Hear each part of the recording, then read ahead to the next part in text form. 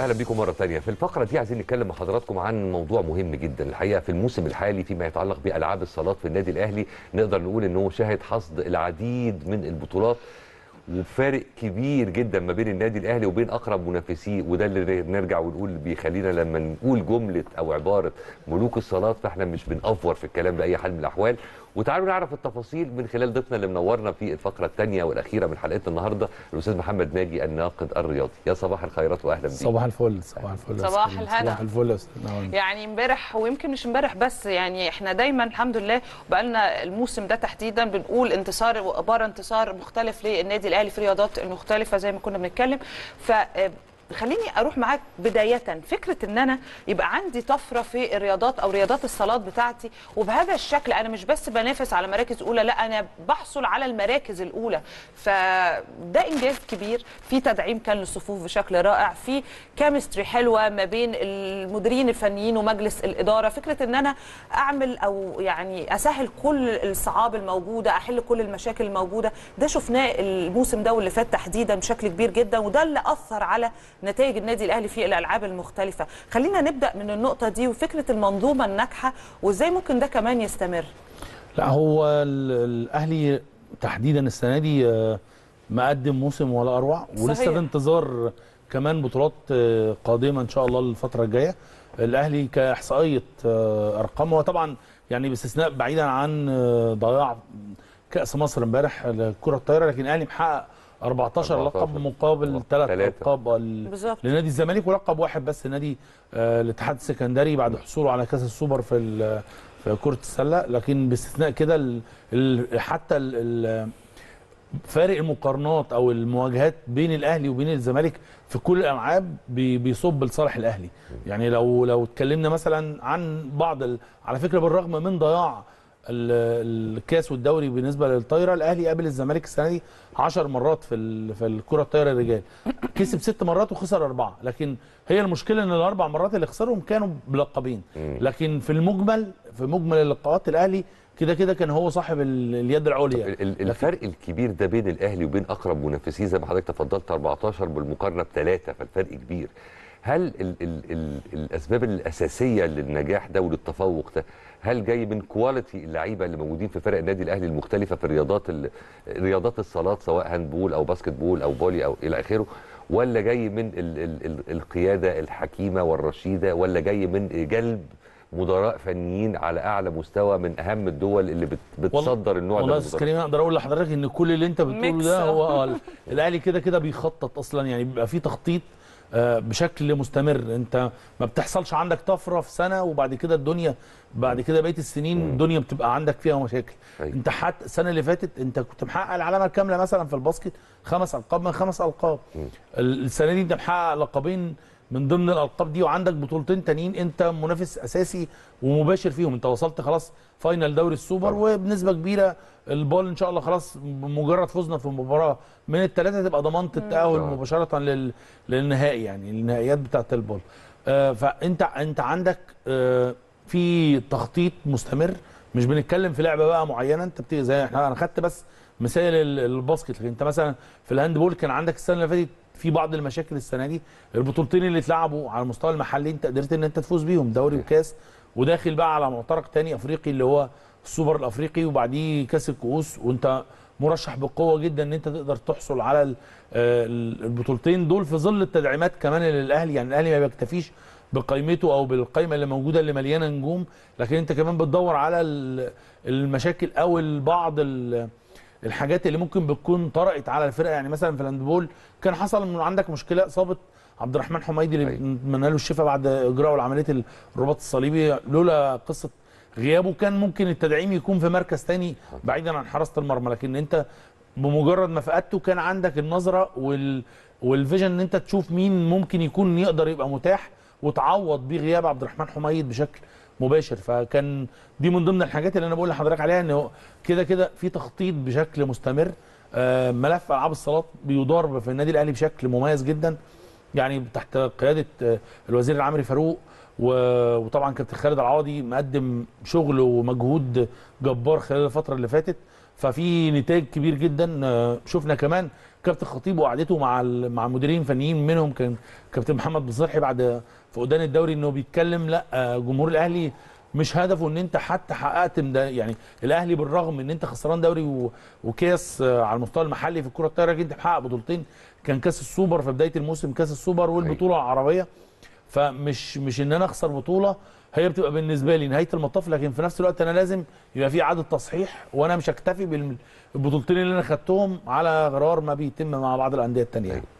طيب آه، لو هنتكلم دلوقتي كمان على الفرق الأولى والناشئين والناشئات آه، إحنا برضو لاحظين أو ملاحظين يعني إن في طفرة كبيرة في الناشئين والناشئات. يعني كنا الأول نقول الفريق الأول هو اللي بيفوز وغيره في الرياضات المختلفة لكن كمان ناشئين وناشئات دلوقتي بيحققوا بطولات. ف. كان لسه اخرها امبارح. ولسه امبارح كنا معانا الخبر بالظبط. فده برضو انعكاسه آه، إيجابي جدا. يعني خليني اكون صريحة ما كانش بالصورة دي زمان. يعني في تألق رائع. هقول لحضرتك لا هو كده كده كان الأهلي طول عمره بمدرسه بت- بتبدأ تفرغ لعيبة وبتحقق بطولات لكن وبتاخد من المصنع بتاعك. الاهتمام بتاع ال ال ال الإعلام بالألعاب الصالات خلال الفترة اللي فاتت لا تطور بشكل كبير جدا. أنت القصة إنه كمان الاهتمام ما بقاش بالجانب ال ال الرجالي أو على صعيد الرجال فقط. لا ده كمان الموضوع صحيح. راح ل- للاهتمام إنه العنصر النسائي أو صحيح. أو السيدات إحنا كلنا كنا شفنا كلنا كنا سعداء يعني حتى بالتويته أو بالحاله اللي كان حطها محمد صلاح على صفحته لما كان بيتفرج على مباراة أهلي وزمالك في الكرة طايره سيدات فده يعني حطت اللعبة نفسها آه في في حتة تانية. وإن محمد صلاح لما يكون بيهتم بإنه بي بيشاهد مباراة زي دي.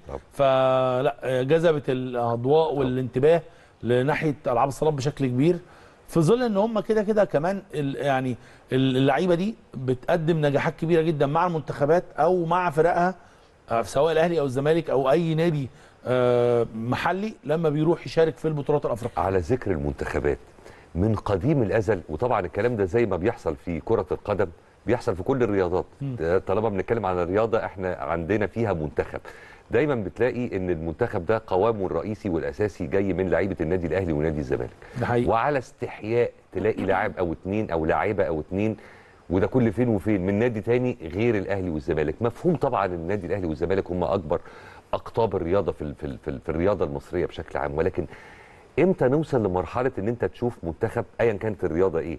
عندك منتخب فيه اتنين من هنا واتنين من هنا واتنين من هنا واتنين من هنا واتنين من هنا. يعني عايز أقول إمتى يكون في فرصة لبقية ال- الفرق غير الأهلي. حيادي لو انت عندك مدير فني محترف وما بيمارس على أي ضغوط هتلاقي اللي حضرتك بتتكلم عليه ده. يعني ده كان بيحصل لما إيه نوع الضغوط اللي ممكن تكون بتمارس عليه؟ فينتج عنه طبيعي انت كده كده بيبقى خلاص انت جاي لك قايمة هت... هي دي اللعيبه المستدعاة.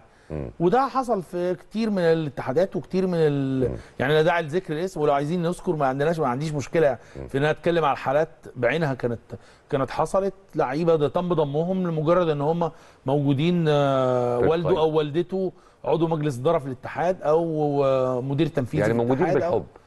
لا يعني هو آه، مش ه- والدنيا حلوة مش هقدر. أقول لا ما بقولش إن هو لاعب سيء. آه. لكن في الأفضل منه.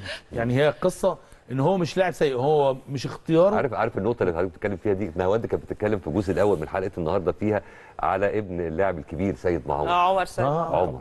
يعني إن إن فعلا في ناس ممكن طب أنا هقول لحضرتك على تحت نفس الشبهة ولكن بامكانياتهم بيثبتوا العكس. ده حقيقي بقى. ده, ده فعلا أنت أوقات كتير جدا في لعيبة بيتداس عليها عشان خاطر هي آه، ابن نجم فلان. كبير. آه. وده كان لنا مثال في ذلك مثلا آه، مؤمن طارق خيري ابن كابتن طارق خيري في الباسكت. ناس كتير جدا كانت بتبقى شا... مع إن أنا شايف الولد ده من هو صغير من عنده 16 سنة. قلت هيكون لعيب كبير جدا. استنوا اللاعب ده في, في, في الأهلي هيكون حاجة نسخة هتتفوق على والده. يعني في لعيبة أنت بتبقى شايف إن النسخة اللعيب ده لما يبدأ ياخد الاحتكاكات والخبرات ويبدأ يلعب. بشكل كبير مع مع الفريق الأول وي- ويحتك هتشوف آه، نسخة هايلة. وده اللي حصل إنه آه، لما تم إنه المؤمن صبر واستحمل يعني أنت الطبيعي مش مجرد تصعيدك للفريق الأول يبقى أنت خلاص ضمنت مكان طبعا. أساسي لا أنت بتعافر وبت يعني بتنافس آه، لعيبة عندها خبرات من الخبرات أكبر منك لعيبة أصلا كده كده عقليتها نفسها ال- المنتاليتي بتاعتها مختلف عن عن فكرك بشكل كبير. انت طالع لسه عندك دراسة عندك آه، زمايلك عايز تخرج. لكن هو بالنسبة له خلاص بقى هو لاعب محترف. ال- الباسكت أو اللعبة اللي هو بيمارسها بالنسبة له هي دي شغله. هو ده. حياته أصلا. بقى شكله بالنسبة له حياته هي اللعبة دي. فمجرد إن أنت تبدأ تطلع وتبدأ تحط لنفسك مكان في في المكانة دي وإن أنت تبقى تكون من ضمن العناصر الأساسية للفرقة فأنت ده هو ده بقى الرهان اللي بيبقى يكون آه، محطوط عليك يعني. أنا عايزة أسألك شوية وده يعني هيبقى متعلق شوية بالسؤال اللي سالته لك فكره الناشئين والفريق الأول. هل النقطة كمان إن أنا التطور اللي حاصل ده راجع شوية لفكرة برضو الصفقات اللي الأهلي عملها مؤخرا. هل فكرة إن أنا أدمج آه، آه، ولاد النادي مع برضو الخبرة الأجنبية سواء في التدريب على مستوى التدريب أو اللعيبة ده هو عمل طفرة شوية على الكل شفناها في الباسكت على سبيل المثال في الطايرة. آه، ده اللي أدى شوية لتطور ال- ده المستوى. حقيقي ده حقيقي لأن اللعيبة نفسها لما بت- بتبدأ تتعامل مع فكر مختلف هو الراجل الأجنبي ما بيهموش آه، غير شيء واحد بس هو المكسب. هو ما عندوش آه، شوية العواطف بتاعتنا. يعني هو في الآخر اللعيب اللي هيقدر إن هو يقدم لي آه، نسخة أقدر أكسب فيها أو أفوز أو يكون آه، هو العنصر ال- اللي أنا يعني أرتكز عليه عليه. وإن أنا ببني عليه هو اللي هيكون موجود ومتاح معايا. أنا ما عنديش مشكلة خالص. كل اللعيبة واللعيبة اللي موجودين مسجلين عندي في الفرقة أو في القايمة آه ليهم كل التقدير والاحترام والمحبة لكن إحنا مجرد ما ندخل ارض الملعب كل اللعيبة هيكونوا بالنسبة لي سواسية. ما عنديش لعيب آه، ستاندر إيه ولعيب تاني والخبرات. الأجنبية لا، ممكن برضو بتفيد سواء على مستوى اللعيبة أو على مستوى كمان الإدارة. أنا بشوف التدعيمات بقى بتاعت إن أنت تجيب لعيب أجنبي هو اللعيب الأجنبي بيكون هو جاي لهدف معين هو جاي عايز يعمل لنفسه تاريخ. لفترة معينة لأن هو بالنسبة له هو مش عقده جاي- زي اللعيب المحلي. عمل. آه هو طبعا. هو بالنسبة له أنت اللعيب المحلي أنت ممكن تكون ماضي عقد أربع سنين. فما عنديش مشكلة حتى لو أنا ما كسبتش الموسم ده الموسم الجاي ممكن هبدأ أعوض. خ- يعني لو أنا ضامن إن أنا موجود كعنصر أساسي من ضمن عناصر الفريق. لكن المحترف هو جاي لمهمة معينة.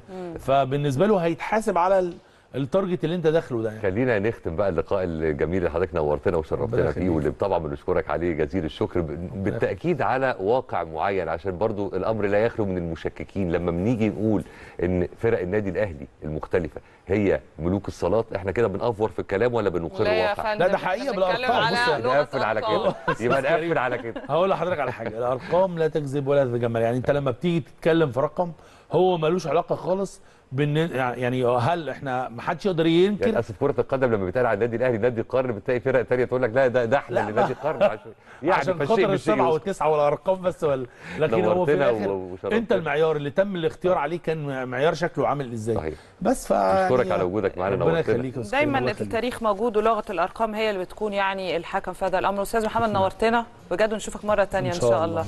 نشكر حضراتكم على متابعتنا أكيد النهارده ونشوفكم بكرة إن شاء الله في حلقة جديدة. أنا وكريم و10 الصبح في الأهلي. مع السلامة.